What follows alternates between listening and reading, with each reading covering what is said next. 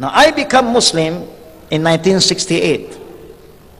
Not because I was given the Quran, because you know the majority of the Muslims do not allow people who are not yet Muslim even touch the Quran. How can we read the Quran if you're not given the opportunity even to touch the Quran? Is there any significance in touching the Quran? No. Allah only reward you if you read the Quran, not touching. Touching have no significance. But the way majority of the Muslim understand the Quran is so holy, you cannot touch it. لا يمسه إلا المطهر. In Surah Al-Waqi'ah, Allah said, Quran cannot be touched except people who are clean. Allah now said the Quran that is with you. He said the Quran that is Lawhi Mahfuz. Kitab maknun.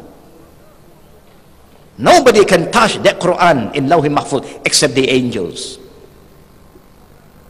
But to human, Allah said, شهر رمضان الذي أنزل فيه القرآن هدى للناس. For mankind, so what right do you have to stop people who are not yet Muslim to read the Quran?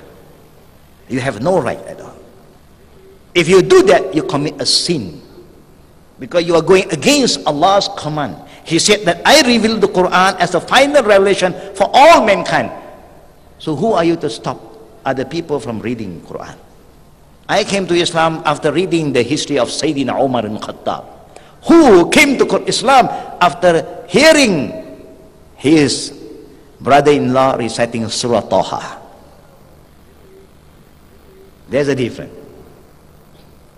Umar, Allah gave hidayah through the recitation of Surah Taha, the Quran, by his brother-in-law. I cannot read the Quran, the Muslims don't give it to me. Because you are Chinese, you cannot read. Nothing to do with the Quran. This Quran is for Muslim. And in our country, Muslim are Malays, so for the Malays. Maybe here, there are certain Muslim group, is only for them. So we have no chance to read the Quran. We can read some other books. Alhamdulillah, I read the book of Sayyidina Umar ibn Khattab. Who got hidayah from the Quran?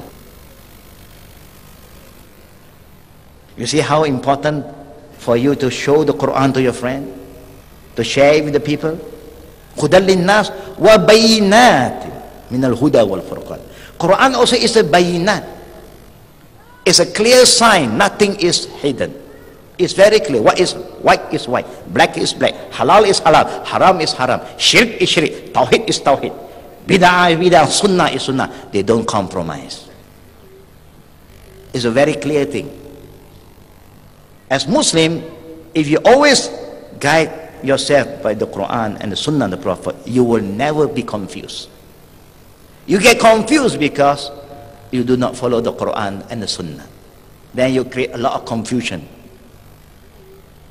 And the Quran also is named by Allah as Nur, light. It will enlighten you if you open yourself to the Quran. Allow the Quran to come into your life. The Quran will enlighten you. The Quran will give you peace.